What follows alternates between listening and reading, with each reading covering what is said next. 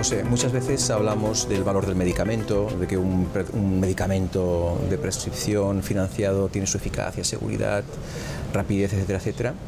Pero al final parece que esto está muy bien, obviamente, porque para eso nos aprueban el medicamento, pero detrás tenemos que demostrar también el valor del medicamento de alguna forma. La terminología de market access, ¿qué significa valor del medicamento?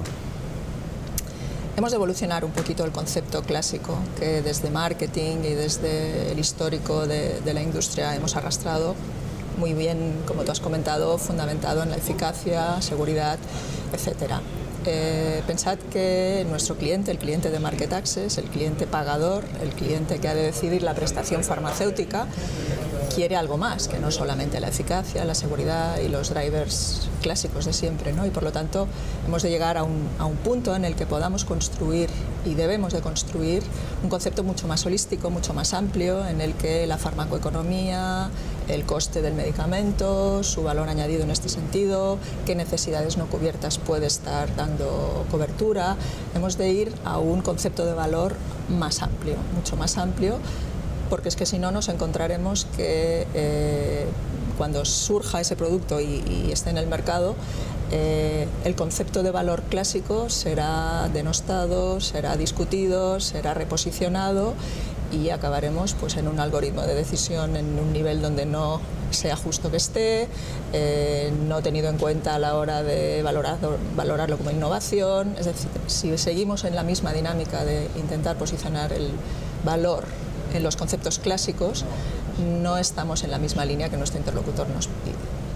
Muchas veces hablamos cuando hablamos de los gestores, eh, siempre nos relacionamos muchas veces con el precio y con la farmacoeconomía. ¿Hay otros motivos por los cuales el gestor debería pagar nuestro medicamento? Es decir, muchas veces decimos, el producto ya está, el medicamento está aprobado, y vamos a demostrar que nuestro medicamento, que quizás tiene un precio un poquito más alto, sin embargo ahorra por costes indirectos. ¿Este es el principal motivo para que un gestor diga que nuestro medicamento tiene que estar financiado o el pagador lo pague? ¿O hay, o hay otros más innovadores, diferentes, o va en función del medicamento? Eso tiene que Esto, estar garantizado. Ya sé que se tiene que resumir en un minuto, es muy complejo. Eso tiene que estar garantizado, es decir, eso es la piedra angular. Si eso no lo hemos sabido trabajar, difícil será que alrededor podamos construir nada más. Pero sí es cierto que el pagador desea que los productos también cubran necesidades en patologías, eh, ayuden a, por ejemplo, pues, eh, facilitar la adherencia del paciente, que a lo mejor pues, puedan dar respuesta a problemáticas que ellos incluyen dentro de sus planes de salud y que por lo tanto hemos de poder recoger, es decir, un concepto de valor y servicio mucho más allá del concepto clásico. Clásico, ¿no? Es decir, esto es lo que se llama producto ampliado o, o, es otra concepción, otra acepción? Bueno, es el concepto producto más servicio. Vale. Siempre que el servicio no sea el servicio que a la industria nos guste, sino que sea un servicio que hayamos hecho el esfuerzo de encontrar un win-win con la administración para ubicar ese servicio. Muchas veces pensamos en el market access cuando el producto ya está en el mercado. Entonces, cuando probablemente previamente hemos hecho estudios de farmaconomía y otro tipo de estudios para demostrar que el producto o este medicamento tiene ese valor que estás, estás ahora comentando, pero también muchos uh, profesionales de market access defendéis una posición de market access previa, lo que denomináis early market access. ¿Qué significa? Significa poder anticipar, poder modular con esos decisores eh, ese concepto de valor, ese concepto de valor que nos vemos obligados a construir una vez el producto ya está en el mercado porque no nos hemos puesto antes a hablarlo conjuntamente y en el que podemos encontrar gaps o diferencias de, criterio, intentar sentarnos en fases anticipadas para construir juntos ese concepto, para eh, decidir pues, cuestiones tan básicas de una fase 2 o 3 de desarrollo clínico como cuál es el comparador más idóneo, cuál debería ser la variable principal a estudiar, cuáles deberían ser las variables secundarias, si valdría la pena o no trabajar con variables subrogadas, todo aquello que después en el lanzamiento del producto puede ser susceptible de ser discutido por eh, el responsable de la prestación farmacéutica, vamos a intentar trabajarlo antes, vamos a intentar trabajar juntos ese valor y construirlo mmm, lo más adecuado posible a las personas que después tendrán que hacer frente a su prestación.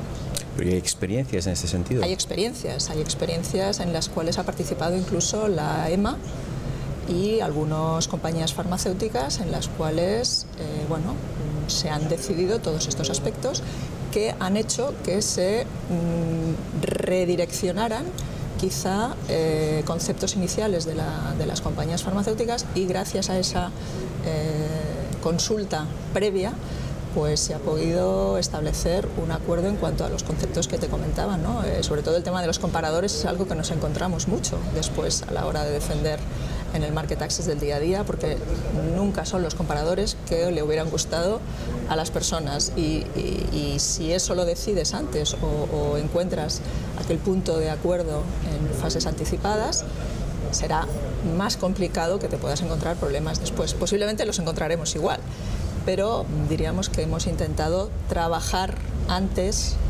desde un punto de vista de la propia fase de desarrollo clínico aquellos gaps que después podamos pulir mucho más a la hora del producto cuando esté lanzado. Simplificando mucho, podríamos decir que nuestros interlocutores o nuestros partners en el Early Market Access es el macro gestor y en la parte ya comercializada de medicamento es el microgestor y meso.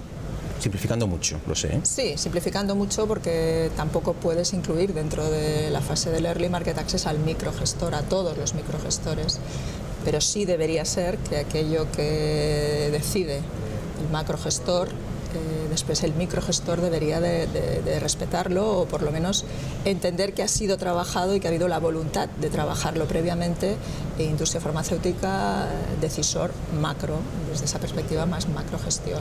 ¿Qué ocurre cuando nos encontramos con un microgestor que su principal obsesión es cumplir un presupuesto ajustado para ese año y no le hables de incorporar tu medicamento al hospital o donde sea. Pero claro, todo eso está muy bien y debería ser así, trabajar juntos, pensar, eh, elevarnos y pensar que todo esto lo que hace es, por supuesto, salvar vidas y tener una, vida mejor y también ahorrar costes al Sistema Nacional de Salud. Pero por otra parte, si te encuentras con un eh, determinado microgestor que dice que su presupuesto es el determinado y que está muy bien todo, pero debe ajustarse a él y no quiere el medicamento, ¿qué, podemos hacer? que supongo que eso es lo que es lo típico de market access de apagar el fuego en ese concreto sitio. Eh, sí, eh, eso es lo que solemos encontrarnos y es el, día a día y es la parte más operativa de market access, mientras que la que hemos estado hablando ahora es la parte más estratégica y más bonita y que más valor le da a la posición dentro de la compañía. ¿Qué hay que hacer? Seguir insistiendo, seguir insistiendo en trabajar esos conceptos de valor adecuándolos a las problemáticas que tiene ese gestor. Si ese gestor tiene un problema de gasto sanitario y tiene un problema de presupuesto, pues hemos de intentar eh, redimensionar el valor, el valor añadido que le podemos dar en esas circunstancias a ese gestor. Quizá hemos de renunciar a todo el paquete de indicaciones, a lo mejor hemos de ir a gestionar un concepto de valor y de producto mucho más eh, acotado, para que pueda entrar dentro de sus presupuestos.